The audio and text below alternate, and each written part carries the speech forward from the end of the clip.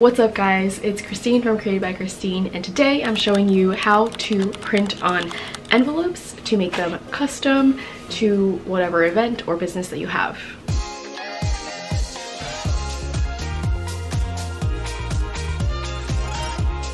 I love using custom envelopes for my sticker shop, my sticker orders because um, I mean really all you need is an envelope to ship stickers but on top of that instead of just making it plain old envelope make it exciting like happy things inside and having my name on it too.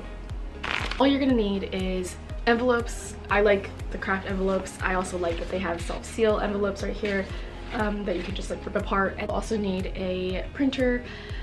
I'm using an inkjet printer. It's a Canon Pixma printer and that's kind of it. So as long as your printer has ink and you have envelopes, um, you're ready to go. I'll show you an example of setting up a design. It's really easy. You can use any platform like Canva. First, I'm setting the design up with the size, which is 5 by 7 inches, because that's the size of the envelope. And you can imagine that this blank canvas is the envelope. So like the top part is like the flap if you're looking at the back of the envelope. Obviously the design part is totally free and up to you, but I'm just gonna write happy things inside and just give you an idea of where the placement could go and like how you could style it.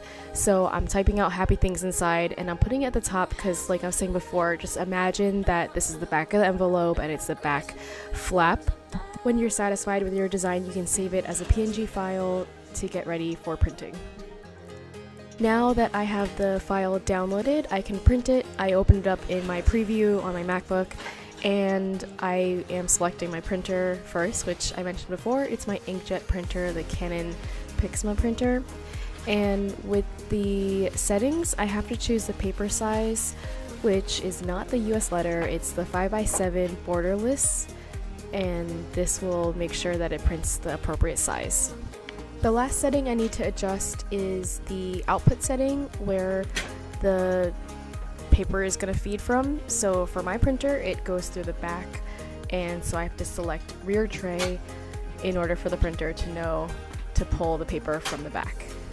Alright now, so we are putting the envelopes into the rear tray of the printer.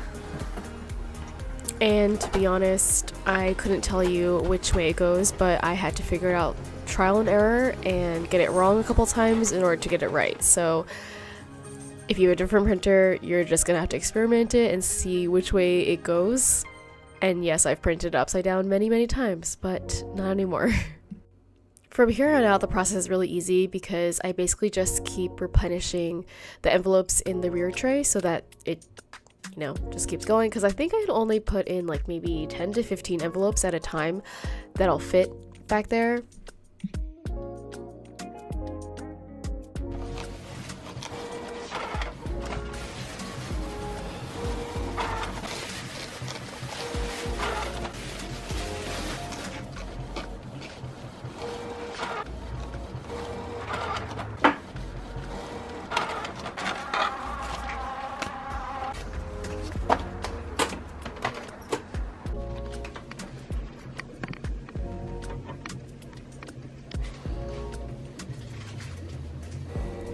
People might say, like, why would you go through all this effort making these custom printed envelopes? People just rip them open and they throw them out into the garbage right when they get them anyway.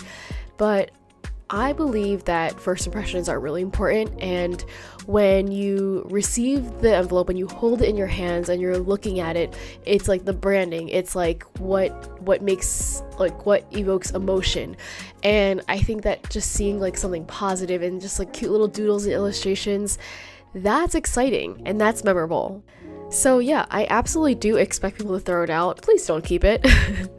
it's been through the USPS. That's the fun part though, just like receiving happy mail and it's the excitement and the memory that and to be honest i don't use envelopes as much anymore because some of my products require like mailers or boxes but I think that I will keep printing my own envelopes for a while. Like I don't think I need to like outsource it or anything because I just like set it and forget it except for replenishing the envelopes in the rear tray. But like besides that, it's pretty automated and I can go and walk away and do stuff and just check in from time to time. I can even work on my iPad and get some designs going. Here I was making a greeting card design and yeah, I like multitasking. I like feeling productive that I can like do two things at once.